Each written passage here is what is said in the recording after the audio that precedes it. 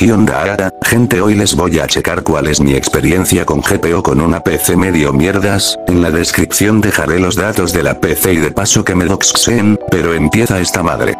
Empezaremos por bajar los gráficos, sacar las sombras y activar los dos fast modes, ya que nos dará un poco más de FPS, aunque yo recomiendo dejar los gráficos en 3 ya que se verá demasiado mal en uno y no carga bien la distancia.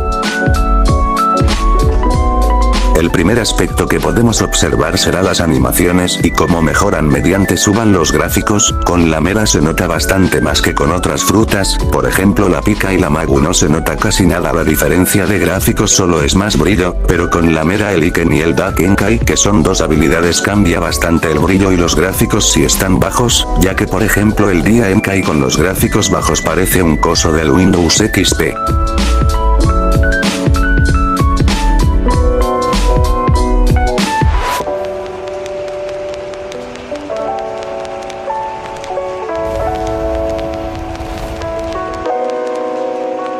Como pueden ver también esto cambia en especial con el fuego como lo es el día lejambe por ejemplo acá chequen con gráficos bajos y altos, aparte que las sombras en los gráficos altos se ve mejor.